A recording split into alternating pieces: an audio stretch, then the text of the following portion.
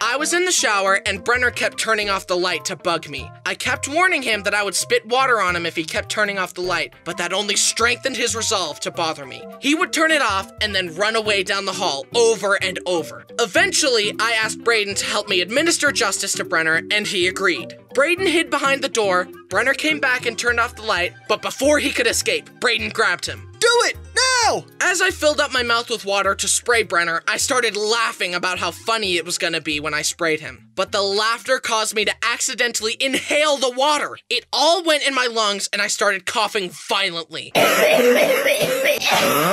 and something about that made my stomach go, Oh yeah, he's coughing. Uh, let's just do a full reset. Send all stomach contents back from whence they came, please. Beep. And I threw up in the shower as my brothers watched. I should have just thrown up on Brenner. He would have never bothered me again. But alas.